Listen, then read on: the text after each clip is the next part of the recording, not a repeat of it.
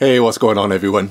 So, um, as you know, Streets of Rage 4 has finally released, and instead of me reviewing the game, something that you know my channel isn't exactly great at doing because it takes me so long to complete games these days. Um, I thought I'd um, discuss my initial reactions to this game and how ultimately Streets of Rage 4 became the game that I now see it probably needed to be. So, you know, for, for those who are subscribed to me, you might know that I'm an old school Sega fan. Have been and always will be, and have grown up on all of Sega's most prominent IPs. And of course, the Streets of Rage series, you know, uh, specifically 1 and 2, is one of those IPs that I hold near and dear to my heart and still play to this day, with me even buying the M2 3D ports on the Nintendo 3DS, which I played loads. I love those games. You know, so I love Streets of Rage and class it as a triple A IP. You know, even though it's it's been gone for all these years. So after the initial out of nowhere reveal of Streets of Rage 4, I was left feeling um, underwhelmed. You know, for sure. And so were many of us. You know, even you know if our excitement, you know, to see the game return was, was high, you know. But like with all Sega IPs of the modern age, it's become almost natural to have a high level of skepticism in regards to what the quality of the final game will be like. Um, my biggest gripes initially were the art style, uh, which although looked clean, um, you know, was certainly different to previous entries, and so were the character models. You know, um, especially Axel, who, who looked like he put on a ton of weight, and you know, not in a visually pleasing way. Um, and the soundtrack, you know, which based on the trailer, wasn't exactly what we were hoping to hear. Um, from a new Streets of Rage, but all these things, you know, based off the first trailer, was somewhat um, trivial and over time all that could change you know something i pointed out in my initial um, reaction but what got me the most um, what got me the most with, with, with, the game still being in 2d um, you know, not not a massive issue to be honest. You know, as I'm an advocate of 2D gaming, um, but my biggest biggest gripe was the initial view of the gameplay. Um, you know, gameplay that looked like Streets of Rage, but also nothing more than that. Um, you know, after all these years, you know, if Streets of Rage was going to return in the modern era, um, after they skipped Sega's last two consoles, both the Sega Saturn, um, my my you know my second favorite console of all time, um, and then the Sega Dreamcast, you know another legendary system, you know way ahead of its time. I I, I wanted and expected. Um, you know, hell, I, I, I, even demanded, you know, from a selfish gamer's point of view, um, for Streets of Rage 4 to re- return with all the AAA budget that Sega could muster up, um, as unrealistic as that was from, from modern Sega. Um, this is an IP, you know, that, like I said, I, I, personally class as AAA as it comes, you know, both in name and execution.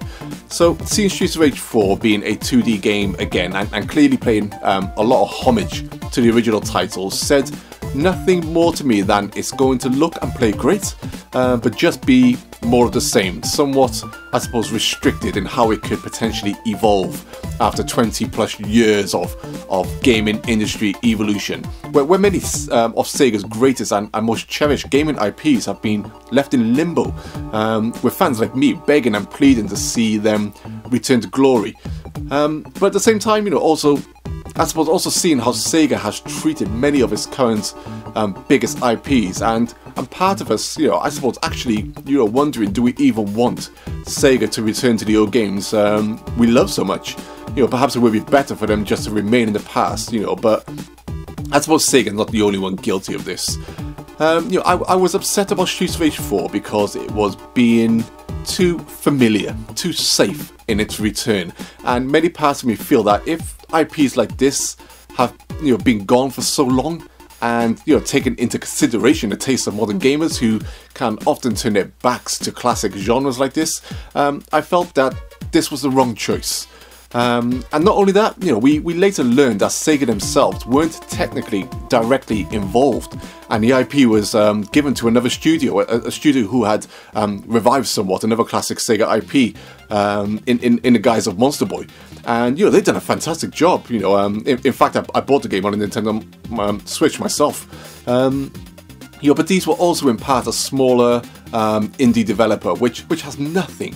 You know, let me point this out. This has nothing to do with their with their talent. As many indie devs put many AAA devs to shame. You know, I can tell you that much straight away. But but already I knew that the budget wouldn't be there to give Streets of Rage 4 the return I always envisioned in my mind. Um, something that perhaps Platinum Games could conjure up with a with a Bayonetta or a, or the Mad World or the um, or a God Hand style of game. You know, but looking all modern with stunning, you know, like neon lit 80s, you know, like backgrounds um, with a ton of destruct uh, destructible environments. You know, things you can loads of things you can pick up and throw, um, and insane com- combos that also play heavily into the co-op aspect of gameplay that Streets of Rage is so famous for, and I remember fondly.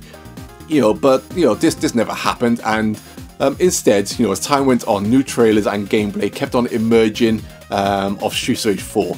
Um, then I found out that you know the original composers were brought on board, something I spoke about in another somewhat um, emotional video. And as more details dropped about classic characters and soundtracks returning, uh, more combos and, and, environments being shown off looking great, um, the more my fear about this game started to fade and the hype kicked in. You know, to the point where I, I you know, I pre-ordered the physical Switch edition um, the other day, and then also bought the game day one digitally um, on the PlayStation 4 in order to play my friends. So in, in some respect, I've, I've, I've double dipped. Um, something I try not to do. Um, you know, at least you know these days, you know, with money and stuff. Um, and after completing the game, um, as well as seeing the overwhelming um, positivity towards it, you know, from all over the gaming community, you know, I, I held my hands up and said, you know what, this is exactly what this game needed to be, and for the most part, the developers nailed it. You know, absolutely nailed it. The, the gameplay is fantastic. It's it's meaty and engaging, you know, just like the originals. Um, the backgrounds and character models are utterly sublime, and it's got some of the best levels in, in Streets of Rage history, you know, without a doubt. And the soundtrack, you know, not quite up to the same level as the originals, you know, but perhaps that was never possible. Um, you know, the soundtrack is still jamming. It's got some deep and electric moments in in nature, and I, I just I just love it. You know, so so this is this is where I admit to myself that I was wrong. Um, you know, sometimes some classic IPs don't need to reinvent the wheel or, or come back looking as AAA as they once were. Some, you know, sometimes you just, you just need to pay respect to the source while still in many ways elevating many um, aspects of, of it with, with, with modern standards.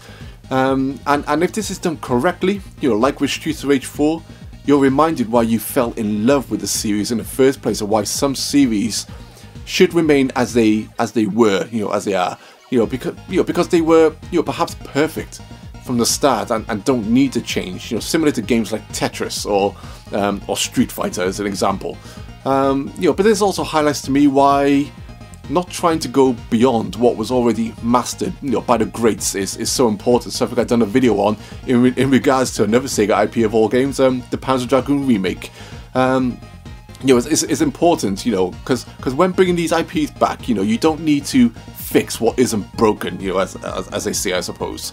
Um, as for Street Fighter 4, you know, just just buy this game. It's, it's, it's fantastic, and in the future, I'll be thinking harder about what I want from some IPs and what's perhaps what perhaps they, they need to do um, in the video game world that is, I suppose, utterly different compared to what I um, grew up with. Um, and also, you know, just just sometimes just just wait for more details, you know. But at the same time, I've spoken about this before about how important great reveal trailers are and, and conveying the information of what you're trying to do. Um, with, with, games when you first show them, you know, I've, I've, spoken about this in the past. But, you know, I'm, I'm, I'm done here. You know, let me know if you've played Streets Rage 4. You know, what are your thoughts? Are you happy with how it's returned? Um, I personally think it's worthy of that number four, um, you know, without a doubt. And, you know, unlike, you know, the trash that was Sonic uh, Sonic 4. You know, my god, you know, let's all forget about that one.